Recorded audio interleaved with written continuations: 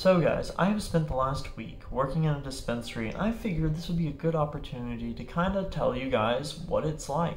What is what's the experience like being in a dispensary? And I feel like a lot of people are probably a little curious about what we do more so on the actual working side of things rather than the uh, just buying stuff. So I figured today would be a good day to just give you guys a uh, little brief rundown of kind of some of the stuff you do throughout the uh, dispensary that are different from like the smoke shop or the hemp and CBD industry, which was what I'm traditionally used to and what you guys are mostly traditionally used to. So, the number one first thing is that everybody's IDs have to be checked by a computer. So, meaning when somebody walks in through that door, they have to give you your ID or their ID and you have to drop that thing into a computer. And what the computer does is it verifies it's a legitimate ID, verifies they're over, over, the age of 21, it verifies that it's not an invalid ID or expired or anything like that and then once they've passed that process, we're able to let them through a separate door because in cannabis dispensaries, you're not allowed to have your cannabis products displayable from the front of the store. Meaning, every dispensary you walk into, you have to have a waiting room. And so some dispensaries will, depending on the busyness and how uh, how many customers they have, will just end up having you wait in the waiting room until they call your name, which I'm not the biggest fan of, but uh, hey, at the end of the day, it's something. Uh, I mean, if they're too busy, they don't want to have a million people in the store at the same time, especially it might be overwhelming to the bud tenders, and plus, people seem to be pretty patient when they're in a nicer lobby other things that are different. I don't have to explain to people all the different cannabinoids because for the most part, there's one cannabinoid we focus on, and that is delta 9 THC. So it is a lot less explaining of the hemp cannabinoids, but a lot more explaining the differences between stuff like distillate and live resins and rosins and live rosin versus hash rosin and uh, what is a first press versus a second press. Stuff like that have a lot more meaning in this industry than rather the hemp industry where it's more about what cannabinoid gets you the highest or what's the closest to regular THC. We're in the regular THC business now, so well, everything's regular THC. Everybody is just looking for what is the best for their budget and all of that. Another thing that's different about the hemp industry compared to the uh, cannabis industry, especially regarding the THCA flower, the cannabis industry prices, at least in Michigan, are much cheaper than the hemp industry. I can go buy a 3.5 of decent quality flower pretty much at any dispensary for 15 bucks here. And I don't think I could do that with THCA flower. I don't think I could buy an eighth for 15 bucks anywhere, even at my own shops. I couldn't buy an eighth for $15.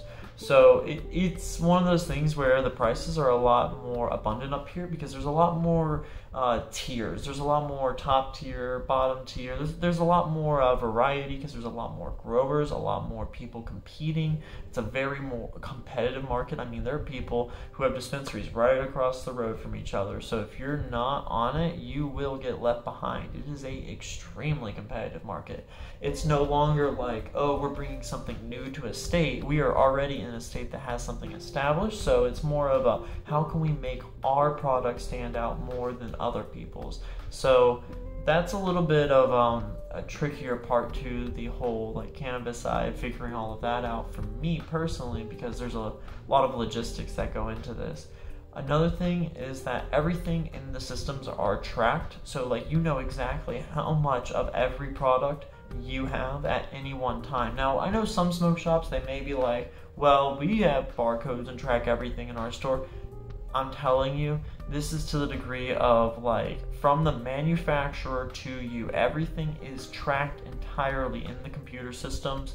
Like you know exactly where it's coming from, what the lab tests on are, everything. It is it's a lot better than the hemp industry because I mean I actually get to see what's um, what we're actually getting and get to know what is uh, the newest products and the uh, highest quality products because it's already in a big computer system for me instead of having to scour the earth and look for all this stuff. Now, obviously, there's gonna be some stuff that are newer that uh, I have to look for, but it's not like the hemp industry where there's a million different companies popping up every single day. This takes a little bit more uh, effort to get into than the hemp industry would.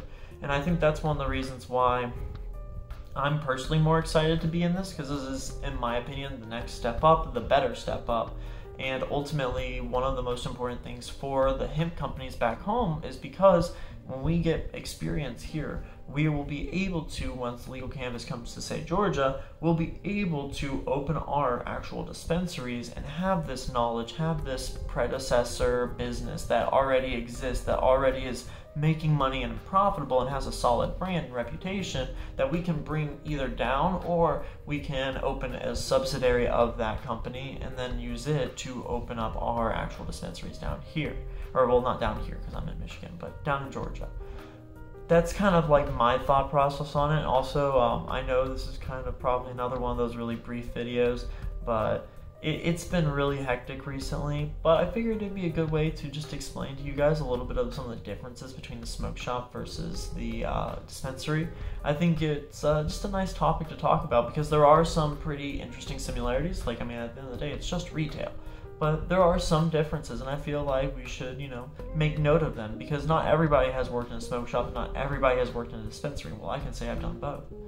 So, it kind of just works out where I'm able to give you guys a little bit of a different perspective than I feel like most people would. But anywho, that's pretty much all I have for you today. I hope you guys enjoyed this video. If you did, let me know down in the comments below. Also, make sure you leave a like, subscribe, share with your friends, tell everybody about the channel because we are growing at a rapid rate. And we're trying to hit 4,000 subscribers very soon. Thank you guys so much. I'll see you on the next one.